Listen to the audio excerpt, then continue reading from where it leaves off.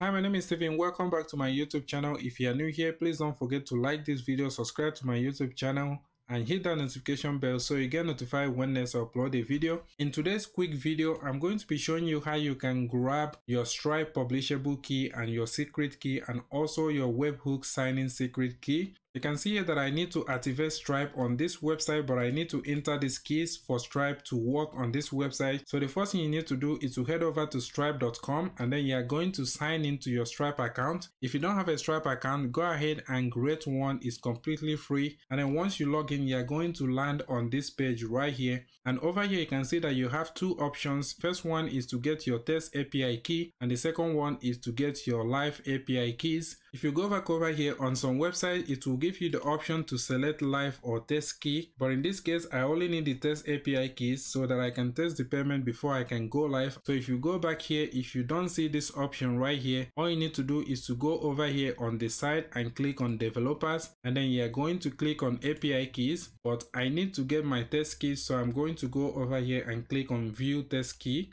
And then from here, we're going to copy the publishable key. And then we're going to go back here and paste that key in here and then we can go back here and review the test uh, secret key. And then we can copy that key as well. And then we can go back here and paste that test secret key in here. And then webhook sign in secret key we need to go back here and also grab that. All you need to do is go over here and click on webhook. And then you are going to uh, get a webhook. You can see all the webhook that I've created. These are all test mode. You can see these are all test mode. So when you are creating your own so make sure that your own is on live mode but in my case i'm only going to be creating the test uh, secret keys. So to do that i'm going to go over here and click on add endpoint. And basically all these settings are the same uh, whether you are doing the live or the test one all the settings are the same. And then from here you need to enter your endpoint url so to get that you're going to come back here and copy this uh, webhook URL here.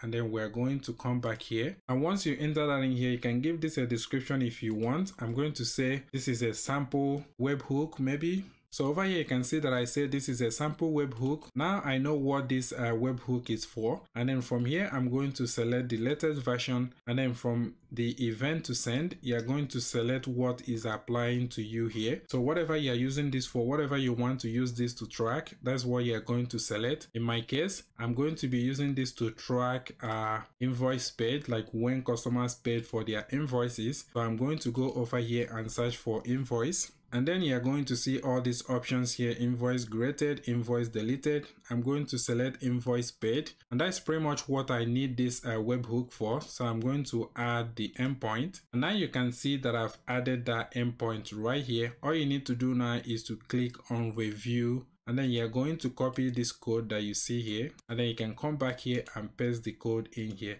so keep in mind that this is a test data. When you want to go live, you are going to go back and repeat the process, but only on the live data. You are going to turn this off and then repeat the whole process. And then you are going to replace these informations with the live version of the information. And then you are going to click on save changes. So this is pretty much how you can get your Stripe publishable key and your secret key. If you like this video, please go ahead and smash that like button, subscribe to my YouTube channel, and don't forget to hit that notification bell so you get notified every time I upload a video. Thank you so much for watching and I'll see you next time. Bye bye.